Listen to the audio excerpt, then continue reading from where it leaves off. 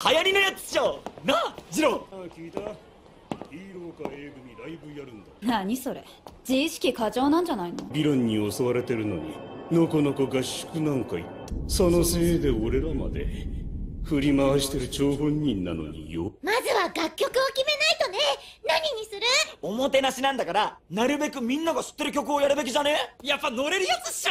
ダンスミュージックだと本当は EDM でまみんなは楽器やる気なんだよねまずバンドの腰ってドラムなんだけどさ。あつうかお前昔音楽教室に行かされてたっつってたじゃん。か誰がやるかや。なりむずいらしいぞ。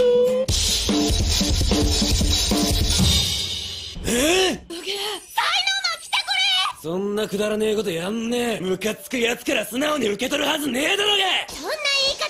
そういうのがなり合いだっつってんだよ。ムカつくだろうがきでヴィランに転がされてんじゃねえ。てめえらご機嫌取りのつもりならやめちまえ。遊泳全員音でやるぞ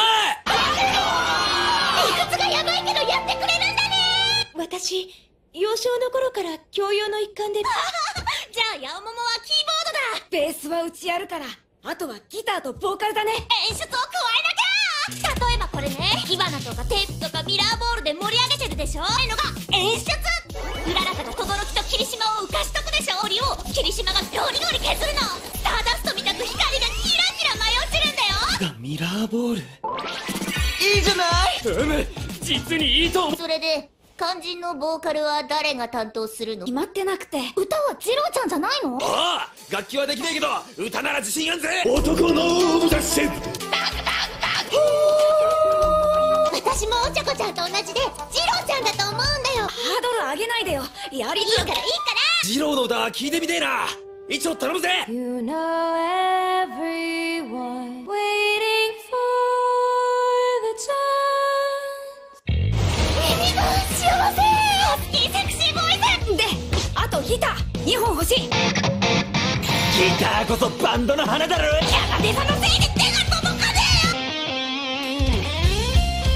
なんて切ねえ音出しやがる。えミーレタ